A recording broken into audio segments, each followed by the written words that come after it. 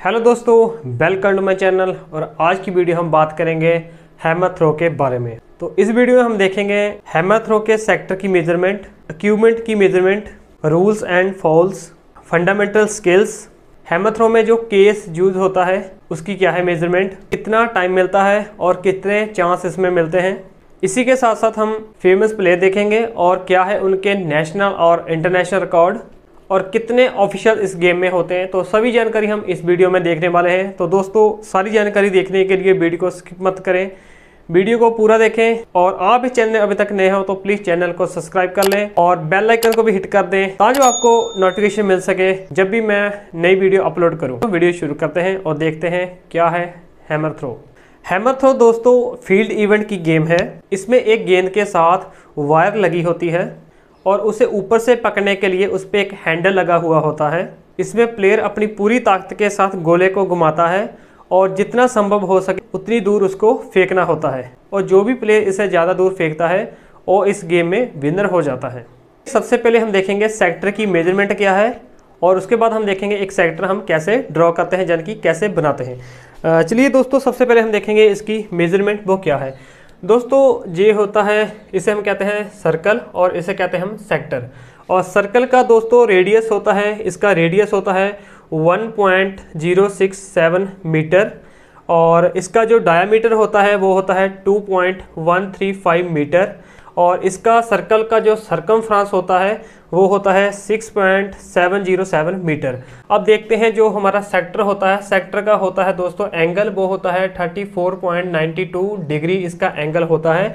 और दोस्तों इसकी जो सभी जो लाइंस होती है, जो होती है 5 सेंटीमीटर की तो सर्कल होता है। इसमें रिंग लगा होता है जो आयरन का हो सकता है। और इसका जो थिकनेस होती है, वो होती है सिक्स मिलीमीटर की। अब हम देखते हैं हम इसे ड्रॉ कैसे करें, यानी कि हम ऐसे सेक्टर को कैसे बना सकते हैं। सबसे पहले हमने क्या करना है, हम, हमने एक सीधी लाइन ड्रॉ कर लेनी है। उसके बाद हमने क्या करना है, हमने इसका रेडियस के बराबर अपना मेजर टेप उसे खोल लेना है। मेजर टेप हमने खोलना है 1.067 मीटर दोस्तों, इस पर रखना है ज़ीरो एज और हम इसे खोल के बाद ऐसे पूरा सर्कल एक ड्रॉ कर लेंगे। पाइथागोरस थ्योरी का फार्मूला यूज़ करना है। वो होता है तीन, चार, पाँच का फार्मूला होता है। हमने क्या करना है? हमने जहाँ पर ज़ीरो एज रखना है, तीन मीटर जहाँ को खोल लेना है और चार मीटर हमने जहाँ को खोल लेना है। उसके बाद हमने इस साइड को ज़ीरो एज रखने के बाद, जहाँ से खोलने के बाद पाँच मीटर का ऐसे चाप लगा लेनी है। और चाप लगाने के बाद हमने क्या करना है? जो हमारे को जहाँ पे पॉइंट मिल जाएगा, उसके बाद हमने एक सीधी लाइन आगे को ले जानी है और ऐसे हम इसका सेंटर लाइन ले सकते हैं हम सेंटर लाइन मिल जाएगी। उसके बाद हमने क्या करना है, हमने दोस्तों अपना मेजरिंग टेप खोलना है, वो कितना खोलना है 19.08 मीटर हमने खोलना है ज़ीरो एज जहाँ पर रखना है। और जहाँ से खोलने के बाद हमने जहाँ तक मान लीजिए जहाँ पर आ गया जे 19.08 जहाँ तक आ गया। और हमने, उसके बाद हमने क्या करना है, हमने खोलना है सिक्स मीटर मेजरिंग टेप खोलना है। ज़ीरो एज रखना है जहाँ पर, और जहाँ से हमने एक चाप ऐसे लगा देनी है सिक्स मीटर की। सेम इसी तरह जहाँ पर ज़ीरो एज रखने के बाद हमने सिक्स मीटर की चाप यहाँ पे लगा देनी है। अब हमने खोलना है ट्वेंटी मीटर मेजरिंग टेप हमने खोलना है और वो क्या करना है हमने ज़ीरो एज रखना है जहाँ पर और ऐसे हमने सीधे खोलते हुए जहाँ पर एक ऐसे ऐसे चाप लगा देनी है। सेम इसी तरह हमने इधर से भी एक चाप लगा दे हमारी जो चाप है वो कटती है। आ, सेम इसी तरह हमने इसे ऐसे लाइंस वो ड्रॉ कर देनी है। तो दोस्तों ऐसे आसानी से हम अपना जो हेमन थ्रो का सेक्टर वो बना लेंगे। शॉर्ट पुट का सेक्टर और हेमर थ्रो का सेक्टर सेम ही होता है। डिफरेंस सिर्फ़ इतना होता है शॉर्ट शॉर्ट पुट में हम जहाँ पर स्टॉप बोर्ड का यूज़ करते हैं, लेकिन हेमर थ्रो में हम हम यूज़ करते हैं केज का। दोस्तों, जे मैंने ब्लू लाइन जो लगाई है, आप देखें, जे मैंने केज आपको दिखाने का प्रयास किया है। केज इसलिए यूज़ करते हैं सेफ्टी पर्पज़ के लिए इसे यूज़ किया जाता है, क्योंकि दोस्तों, जब भी हम हैमर को फेंकते हैं तो हो सकता है उसके नज़दीक कोई ऑडियंस हो या कोई ऑफिशल हो, उसे लग ना जाए तो इसलिए हम क्या करते हैं उसके आदत वाले तीन तरफ़ हमने उसके केज लगा देते हैं। अब वो आइए उसके बारे में थोड़ा देखते हैं। दोस्तों जो यू शेप का होता है। तो जो केज होता है स्टील की वायर का हो सकता है और इसके अलावा सिंथेटिक फाइबर का भी हो सकता है। उसकी हाइट जो होती है वो सेवन मीटर से लेकर टेन मीटर तक हो सकता है। सेवन पीछे से जो सेवन मीटर ऊपर होता है और आगे जब जाते हैं तो टेन मीटर 10 मीटर ऊपर इसकी हाइट वो होती है। और इसके अलावा दोस्तों, जहाँ से सेंटर से लेके इसकी जो इधर को लंबाई होती है, वो होती है सेवन मीटर जो सेवन मीटर इसकी लेंथ जहाँ से होती है, इसकी चौड़ाई कितनी होती है दोस्तों? एक साइड से लेके दो, दूसरे साइड हम देखें तो ये सिक्स मीटर इसकी चौड़ाई होती है। तो दोस्तों ये जू शेप का होता है। देखिए जी, इस तरह जे, जू शेप का होता है और इस साइड को जो ओपन होता है। हमारा प्लेयर जहाँ से घुमाता है, घुमाने के बाद हैमर छोड़ता है तो सीधा एक सेक्टर की ओर जाता है। अगर बाई चांस इसके आले दुआले कोई खड़ा होता है, कोई कॉम्पिटिटर या कोई ऑडियंस या कोई ऑफिशियल तो उसे ये बचाने के लिए लगाया जाता है। और इसके साथ साथ दोस्तों, जो केज होता है, बहुत ही मज़बूत होना चाहिए और इतना मज़बूत होना चाहिए कि जो हैमर थ्रो है, उसकी अगर स्पीड 32 मीटर पर सेकंड की रफ्तार से अगर वो आ रहा है तो उसे टकराने के बाद वो टूट ना जाए। इतना मज़बूत हमारा केज को वो होना चाहिए।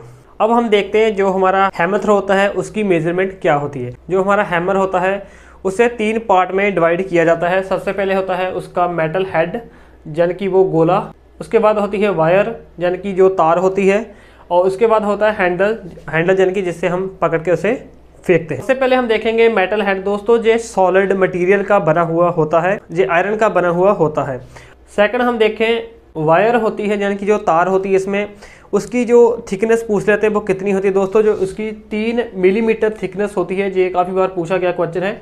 और उसके बाद होता है हैंडल। अब हम देखते हैं दोस्तों इसकी मेज़रमेंट वो क्या, होता सबसे पहले हम पुरुष में देख पुरुषों में देखें मैन में देखें तो दोस्तों इसका जो वेट होता है वो 7.26 किलोग्राम और वुमेन में देखें तो वो होता है चार के उसके बाद हम देखें इसकी जो डायमीटर है जो होता है 110 से लेक से 130 मिलीमीटर इसका डायमीटर होता है मैन में और वुमेन में देखें तो दोस्तों होता है पचानवे से लेके 110 मिलीमीटर mm इसका डायमीटर होता है।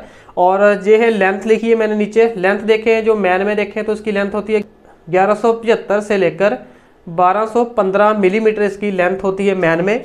और वुमेन में देखें तो दोस्तों 1160 से लेकर ग्यारह सौ मिलीमीटर इसकी लेंथ होती है वुमेन में। अब देखते हैं फंडामेंटल स्किल इसमें, यानी कि इसके फेस कौन कौन से होते हैं। दोस्तों, इसमें छः फेस होते हैं। इसे रिलीज़ करने के लिए हमें छः फेस की ज़रूरत पड़ती है। सबसे पहले आता है ग्रिप सेकंड आता है स्टांस और थर्ड है स्विंग चार नंबर पर है टर्न या रोटेशन पाँचवें नंबर पर आता है रिलीज़ एंड देन उसके बाद आता है रिकवरी एक एक करके हम देखते हैं। सबसे पहले होता है ग्रिप तो इसे दोनों हाथों से पकड़ा जाता है। जैसे हमने पहले देखा था शॉर्ट पुट डिस्कस थ्रो और जैवलिंग थ्रो में दो सभी जो इवेंट है उसे एक हाथ से पकड़ कर थ्रो किया जाता है। लेकिन हैमर थ्रो दोस्तों एक ऐसा इवेंट है जिसे दोनों हाथों से पकड़ा जाता है, उसके बाद उसे रिलीज़ किया जाता है। और सेकंड फंडामेंटल स्किल है स्टांस ग्रिप करने के बाद जो हमारा प्लेयर होता है, वो क्या करता है? वो जो सेक्टर होता है सेक्टर की ऑपोजिट साइड अपना फेस करके खड़ा हो जाता है। इसे हम कहते हैं ऑन थ्रोइंग सेक्टर की तरफ़ उसका फेस होता है, यानी कि वो ऐसे खड़ा होता है, ये उसका पाँव होता है और इस साइड को उसका फेस होता है। तो इस साइड को वो अपना स्टांस लेने के बाद खड़ा हो जाता है। और थर्ड हम नंबर पे देखें तो होता है स्विंग और इसमें प्लेयर क्या करता है? खड़े खड़े इसे प्रीलिमरी स्विंग कहते हैं। खड़े खड़े वो अपने हैमर को स्विंग करता है, उसे घुमाता है। उसके बाद आता है टर्न रोटेशन जो रोटेशन की मूवमेंट आती है, उसके बाद अपनी बॉडी को भी उसके साथ मूव करता है। इसमें प्लेयर अपने टो और हील का यूज़ करता है, उसके ऊपर ही वो रोटेशन करता है। इस पोजिशन में आप देखें तो इसमें सेंटर फ्यूगर और सेंटर पिटल का ही यूज़ होता है। हैमर उसे बार की तरफ़ लेके जा रहा है, लेकिन वो अपनी फोर्स से उसे अपनी तरफ़ लाने का प्रयास कर रहा है। इसके बाद रिलीज़ का फेस आता है। इसमें प्लेयर क्या करता है? प्लेयर सेक्टर की ओर उसे रिलीज़ कर देता है। उसके बाद फेस आता है रिकवरी का। रिकवरी में दोस्तों वो अपनी बॉडी को रिकवर करने का प्रयास करता है ताकि वो बॉडी सेक्टर की ओर उसे वो ना गिरा दे। अगर वो सेक्टर की ओर गिर जाता है तो ये फाउल हो जाता है। सेक्टर की ओर ना गिरे इसलिए अपनी बॉडी को रिकवर करता है। हम देखते हैं इसमें रूल और फॉल्स इसमें क्या होते हैं। सबसे पहला रूल इसमें होता है आप इसमें ग्लव्स का यूज़ कर सकते हैं। जब आप हैमर थ्रो फेंकते हैं, उस टाइम पर अगर आपका हैमर टूट जाता है तो उसे एक फिर से मौका दिया जाता है। इसे फॉल नहीं समझा जाता। तो आपका पाँव जे रिंग के ऊपर आ जाता है तो ये फाउल हो जाता है। उसके बाद ये होता है इंडिकेटर लाइन हम इसे कहते हैं। जब भी हमारा प्लेयर आता है, उसके पीछे से ही आना होता है सर्कल में। अगर इसके आगे से आता है ये भी फाउल हो जाता है। और इसके अलावा हैमर फेंकने के बाद अगर वो इधर से चला जाता है ये भी फाउल हो जाता है, उसके वापस बैक ही जाना होता है। और इसके अलावा हम देखें, दोस्तों, जब भी हमारा प्लेयर हैमर को फेंकता है, अगर उसका हैमर इस लाइन के ऊपर गिरता है तो ये भी फाउल हो जाता है। को अपना हैमर इस सेक्टर के अंदर अंदर ही गिराना होता है। इसके अलावा एक मिनट का टाइम मिलता है प्लेयर को हैमर थ्रो करने के लिए। अगर कोई प्लेयर एक मिनट से ज़्यादा टाइम लाता है तो वो भी फाउल हो जाता है। और हैमर थ्रो में आपको छः चांस मिलते हैं। अगर किसी इवेंट में प्लेयर आठ से कम है तो उन्हें पहले से ही छः चांस दिए जाते हैं। अगर प्लेयर आपके आठ से ज़्यादा है तो पहले उन्हें तीन चांस दिए जाएँगे।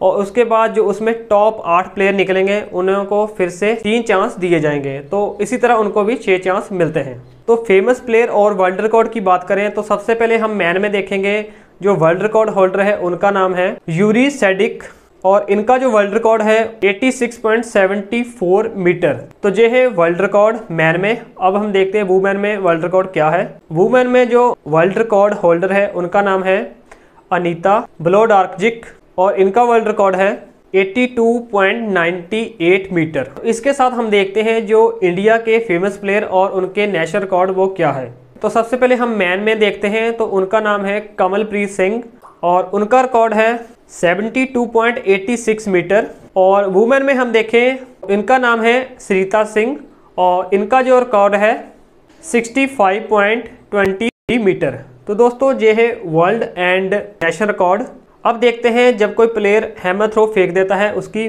मेज़रमेंट कैसे की जाती है। तो दोस्तों, मान लीजिए किसी प्लेयर ने जहाँ से हैमर थ्रो को फेंक दिया है और ये जहाँ पर आके गिरा है। दोस्तों हैमर थ्रो जहाँ पर सबसे पहले गिरेगा, वहाँ से ही मेज़रमेंट उसे की जाएगी।